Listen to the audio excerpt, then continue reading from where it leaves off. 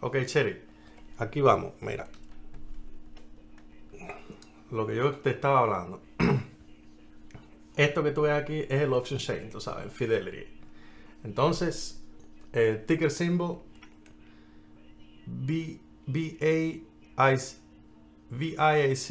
uh, que es CBS News. ¿Verdad? Yo tengo, yo tengo acciones en, ella. Entonces, mira cómo va la cosa. Uh, esta es, dame quitar este, abril 30, dame quitarlo.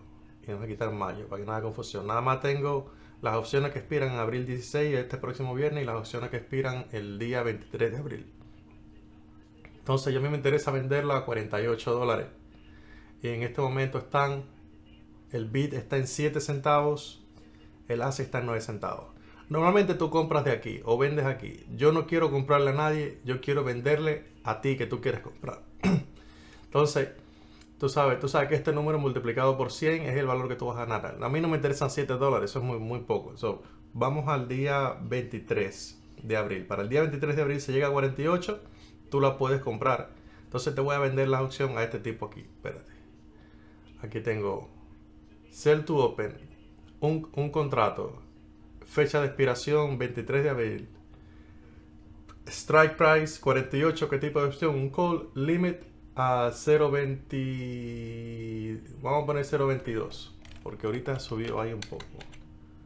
Entonces, limit 0.22, condition on por el day. Ahí. Ahora, ya la opción se ejecutó. Te voy a mostrar. A ver, order box. Ok, si tú te fijas aquí, vendí un contrato vendí un contrato de Viacom. La orden fue a las 9 y 34.